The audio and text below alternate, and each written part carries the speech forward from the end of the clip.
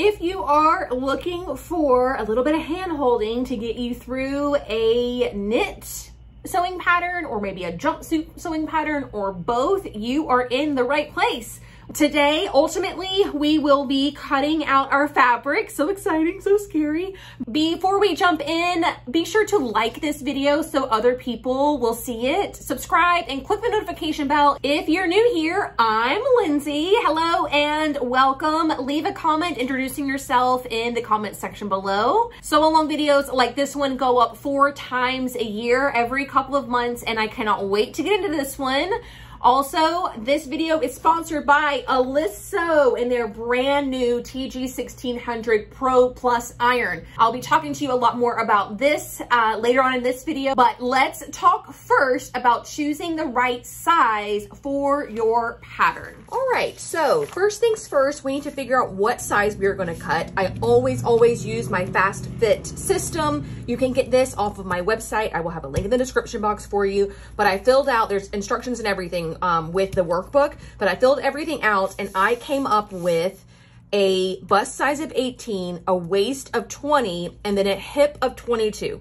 Technically, my hip should be a 24, but because there is six and a half inches of ease in this pattern at the hip, I know I have a little bit of wiggle room there. So I'm actually gonna size down to a 22 and do a small little full seat adjustment because a lot of what makes up my hip is not necessarily the full circumference. Like I'm flat in the front at my hip, but I have a bigger bum. So I know that that full seat adjustment will make up for um, the sizing down. Um, I also, the other reason why I wanna do that is because I don't like jumping more than one size when I'm grading. So I have an 18 to a 20 and then a 20 to a 22. If I did 20 to 24, things get a little bit iffy there. All right, so now we need to press our pattern pieces to make sure we get all these little wrinkles out. I am using the new Oliso iron, the TG 1600 Pro Plus. I talked a lot about all the additional features that this one has in episode zero, so be sure to check that out if you haven't already. But when you are pressing pattern pieces, you obviously don't want any steam and you don't need that much heat either. I love that with this iron, you can easily adjust those settings. You can go ahead and press your fabric as well. For that, you'll need lots of steam and only the heat that your fabric can withstand. My fabric is made of polyester with a little bit of rayon and spandex blended in. None of those fabrics like heat. So I'm going to leave my heat at the higher end of synthetic and let the steam do most of the work. Finding an iron that has like a lot of steam, a lot of good steam without a lot of heat is actually kind of tricky to like find that balance but I find that Oliso irons do a great job of handling both of those settings together, like relative to each other. Check the description box for a link where you can get $40 off your iron and free shipping. And then we need to take a look at this pants pattern.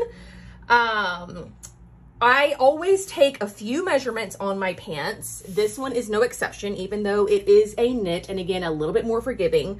But what I do is they have the crotch line marked here. So I find the crotch line for size 22 and I measure up to find the like rise.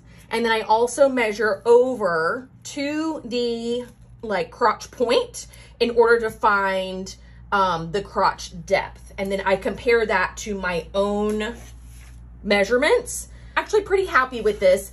The other thing I wanna point out though is the shape of this curve is very flat. Um, I have this little bendable ruler that I've like shaped, like I ran this underneath my crotch. So this is the shape of my bum and this is the shape of like the front of me. And this little rubber band is the middle. So if I put the rubber band at that crotch point, you can see that my bum is a lot wider than what this calls for. If I were to cut it like this, I would have all this excess fabric, but I don't love just like whacking two inches off of the curve. So I will pencil this in. I will trace this onto my fabric and then I will decide after I can do my first fitting how I like how this is fitting. And then I can start, you know, shaving off a little bit each and every time. So So we will repeat this process for the front and double check that crotch as well. The only other thing I wanted to check was the inseam because this one looks really long to me. Our inseam ends up being 30 and 5 eighths.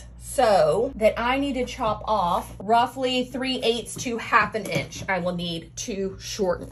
So to do that, you find your lengthen and shorten line, cut through this, and I'm gonna shorten by this very, very minuscule amount that we have over here. Um, not a lot, I could probably just take a deeper hem. All right, so now I take my, I have a paper rotary cutter. I'm about to blow y'all's minds, I know it. Um, and I'm gonna use that to cut out this pattern. So I'm just gonna cut along size 22 and then grade into a 20 at the waist, which is up here. So um, this dot is roughly my hip and that is a 22 and that is a 20. So we will come in something like this. You just kind of rotate it around until it gets eased in nicely between the two lines and that will be my new hip measurement. All right, and there is my back pants. I will repeat that process for the front. The front does not get a full seat adjustment though, but I will grade at the side seam to accommodate my size 20 waist and 22 hip. And then for the bodice front, I'm gonna be grading from a 20 to an 18. That, because this is like a square and it's all straight lines, you just take your straight ruler and you grade it out just like this lost my pencil, so we're gonna do it with this marker, but something along these lines here, right? And then all through this, we'll get the same size 18. We will double check this on my ditto form, and you guys that don't have ditto forms will tissue fit on your own bodies here in a second. We've got a beautiful um, pocket that's gonna get sewn into the waistband. Love that. So that just gets cut out as is the overback, the over front, and the bodice back all get that same treatment that I just showed you with the front from the grading out. If you're not grading out and you're making a straight size, you just cut everything the same and you don't have to do any um, any grading whatsoever. So, all right, so I got her the pattern pinned up on my ditto form. This is an exact replica of my body. It makes tissue fitting and assessing some of these things a million times easier. Basically, I went in for this body scan. It was like a 3D thing, like I spun around on this kind of like a Roomba looking thing. Um, and then they use that to digitally create this dress form. It is completely pinnable. Obviously, I have my bust line, waistline, hip line, center front, center back um, all marked on the Ditto form. She is just a real powerhouse and makes um, adjustments like these and assessing patterns so much easier. All right, so I've got her up on my Ditto form and you can see I have a little bit of gaping here in the front, but when I turn her to the back, nice and flat. So I know it's not an issue with at the shoulder. Instead, the issue is just within the front, the, the center front um, angle is just not necessarily sloped right for the shape of my breast is really all it comes down to. So I will pin out this little itty bitty wedge. It ends up being about, I don't know, a quarter of an inch or so. So I will pin that out, out to nothing at my bust line. All right, speaking of my bust line, you can see that the bust point is this circle with the plus sign through it, and that is hitting exactly at my bust apex. That makes me so happy and so excited. So I love that the line from my high point shoulder down to my bust point is spot on. All right, so then we want to check for the waistline. And this is when things start to get a little funky monkey with this pattern. It looks like the waist, so here's the pattern's waistline. Here's my waistline. And if we look at the pattern, you can tell there's no intention of it to be blousing over. So I don't think we need all of this extra length through here. So what I will do is I will grab this marker And well, ironically, it happens to be right at the lengthen and shorten line. So that makes it really easy. But I will just draw on the pattern where my actual waistline is. And then I know when I get back to my cutting table that I need to remove whatever distance this is. Obviously you will be adjusting that in the back as well. The front is a little bit wider than the back. You can see how much this is sticking out where this is like hanging close to my body. So it's causing the side seam to come to the front a little bit. That doesn't bother me so much because we have the elastic waist. I know a lot of this is gonna get brought in. So I'm not too concerned about it. If this were like a fitted, like a fit and flare with no elastic at the waist, that would be a concern, but I'm gonna leave this as is. The only other thing that I like to check for, and because, especially because this pattern is sleeveless, is through here, let me come around to the other side so you guys can see, through the armscye, how much space do we have here? The last thing we want is to be wearing this and then you can see into our garment or um, into like into our body. This one back here, we kind of need to, in order to like round our back and move around. But this one here makes me a wee bit nervous because it is such a gaping hole. So to fix that, similarly to how we did in the front, and it's probably related to the same issue in the front with there not being any uh, bust darts on this pattern, same similar situation, you just fold a little pleat and now it hangs closer to the body. So all I'm gonna do to fix my bodice is take two little wedges out of this shoulder area and shorten the bodice front and back, and that'll be that. So I'll take you back to the table where we can like transfer them over. One. So the amount that needs to come out, drum roll please, is yeah, right at, well, it's like one and seven eighths of an inch. We can draw in our new lengthened shortened line, which has to be perpendicular to the center front. So I know this looks a little funky now. And then I'm gonna go ahead and draw up one and seven eighths of an inch. All right, cool. And then cut through one.